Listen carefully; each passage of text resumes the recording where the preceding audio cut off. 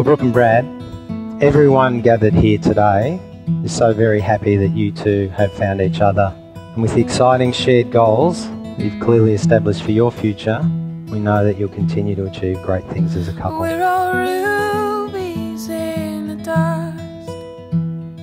I always knew that Brad would get a drop dead gorgeous wife. I just knew it. And why did I knew it? I knew it because I think he deserved it.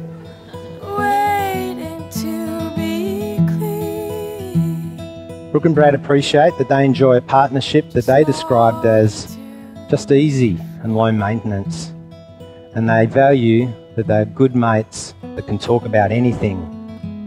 So pick up your head, I am. Let me tell you, he's got a big ticker. I consider myself a lucky bastard. I do. I'm blessed because I've had the front row seat to watching my boy, Bradley, grow from a boy to a man. And it's been an amazing journey.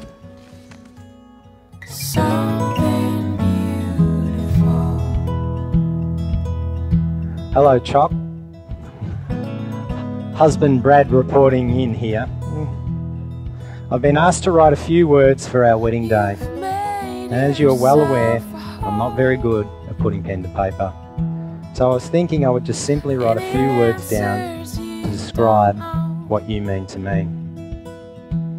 Best friend, my rock, thoughtful, giving, loving, modest, hardworking, funny, perfectionist, a little OCD,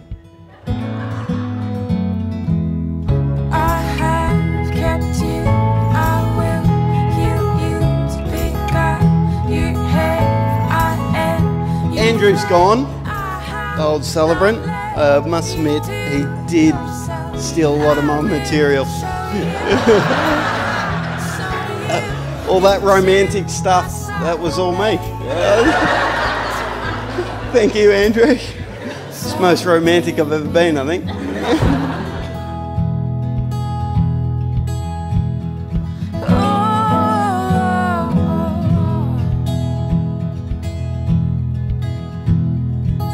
She loves you for who you are and what you stand for.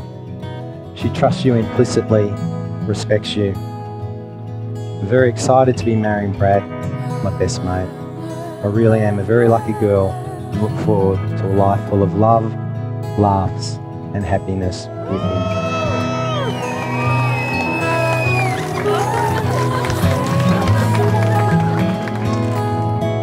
I'm really fortunate that my daughter found Mr. Right. But then again, uh, marriage isn't really about finding the right partner, it's about being one. Not so much about just finding one. So it's a really two way thing.